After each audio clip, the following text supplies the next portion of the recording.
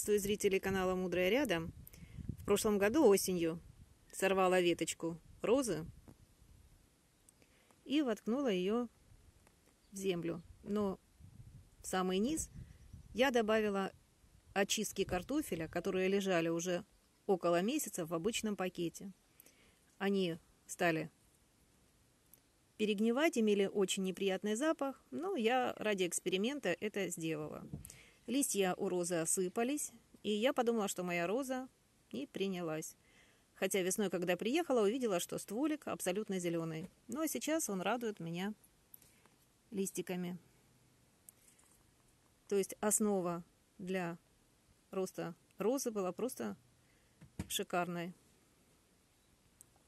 Это дало возможность и перезимовать зиму в тепле, потому что продолжался процесс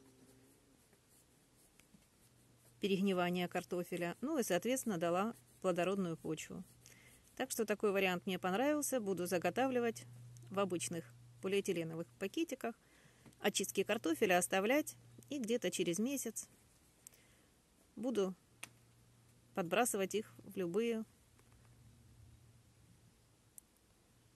подсадки. Ну, допустим, какой-то, может быть, кустик посажу, ягоды какие-то. Ну, в общем, будет видно.